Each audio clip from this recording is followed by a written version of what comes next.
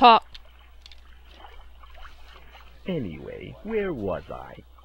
Oh yes, I was berating your species for taking your modern amenities for granted. Oh. For example, it's spring, but I don't see you out in the fields planting the crops. Talk. Tell me something. Have you ever seen the Egyptian pyramids? And not just on PBS, I mean with your own eyes. No. Hmm, I didn't think so. God forbid you should go somewhere farther away than the Starbucks on the corner. anyway, can you imagine how much time and work it must have taken to build those pyramids?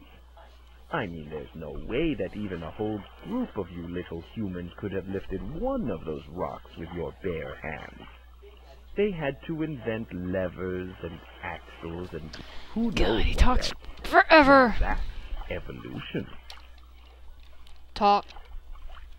Let's get this over with. Here's another question for you. Do you wear glasses? Well, actually, it doesn't matter. My point is this.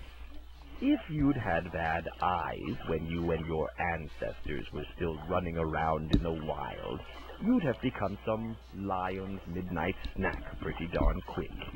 Oh, and yet, I would have died. right now, one of the most powerful people in the world is that four-eyed guy in Seattle. You know who I mean. How far do you think you would have gotten in a fight with a lion? Oh, Bill Gates? Is that what he's talking about? You humans are totally helpless without your tools. Talk. Are you keeping up with me, Fuzzy? Can I go on? Sure. Okay, good. You might want to pull up a chair because this might take a while. I might speed it up. What? It gets lonely in here. I have to talk to someone. Anyway, as I was saying, at some point, about five or six thousand years ago, humans finally came up with the greatest tool of all. You know what that was? Language. Wow. Look at you, a human after my own heart. That's right. The greatest tool of all is language. Without it, you wouldn't be talking to me right now. I'm not even going to ask if you're grateful. Anywho, sooner or later, this guy named Pythagoras came along. You know who he was, right? Yes. Well, good. I can see this conversation isn't a complete waste. So, this Pythagoras fellow came up with another important tool, and that's logic. So, after you have language and logic, you have mathematics and technology and industry and everything else, and that's how you've gotten to where you are today. With your glasses and your cold medicine and farming machinery and cars and TV sets and dreamcasts and rock and roll music and... Okay, so it's a little more complicated than that. But the point is, humans started out pretty helpless and created all these things to make their lives easier. Just like Whirlpool.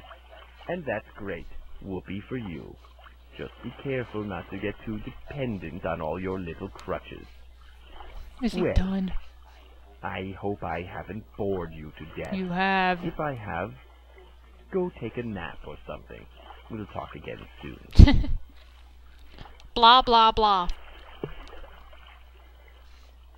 No, I'm done for today. Blah, blah, blah. I'm cranky. He's supposed to say something else. Are you hungry? Are you hungry? Why? Did you do something I should be angry about? What? Hello? This better be important. Hello? Yeah. Hello. Whatever. Hello? Hello. He's supposed to say something else. Hello? Hello? Yeah. Hello. whatever. Hello? Hello? No. Yes.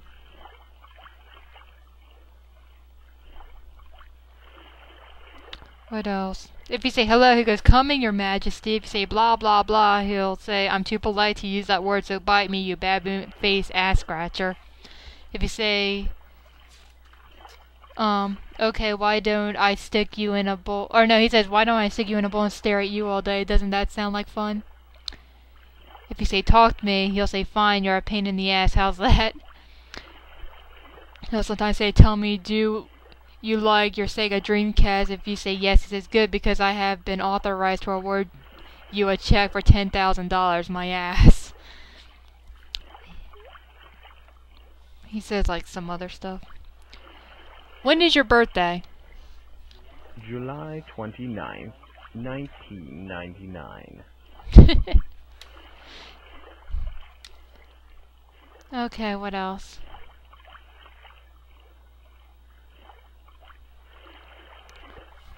Talk to me. No? What do you need? Talk to me. Talk to me. Tomorrow. We'll talk again tomorrow. Okay. See, he's not doing it. Oh, I can't feel my face. my, my, what the F? Who is sucking on me?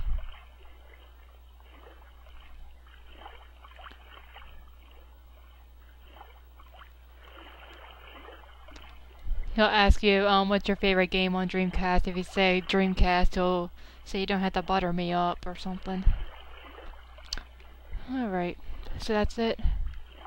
Let's heat this up.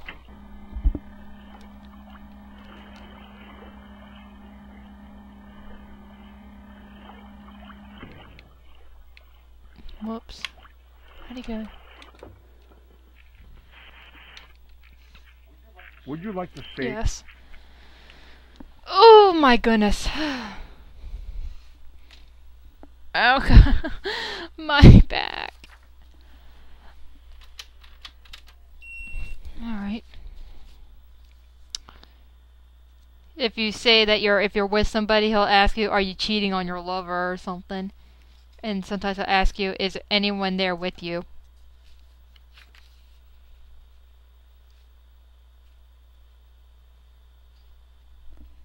Oops, sorry.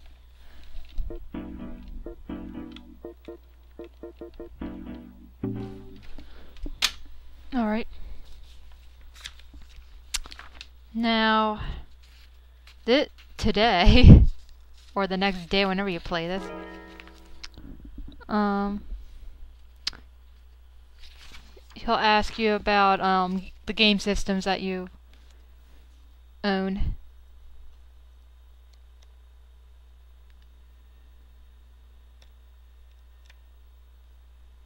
He'll also asked you about um, JFK.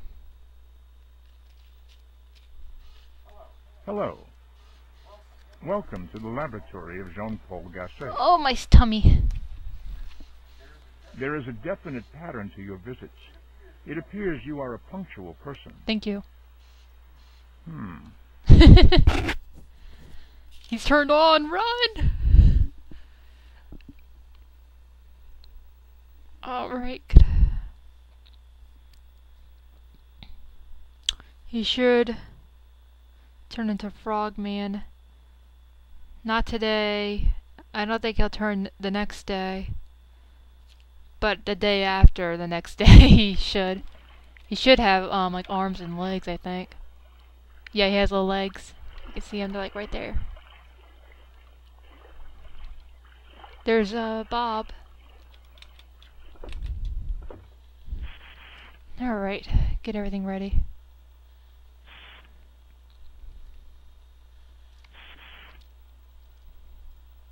God, lagging! Lagging!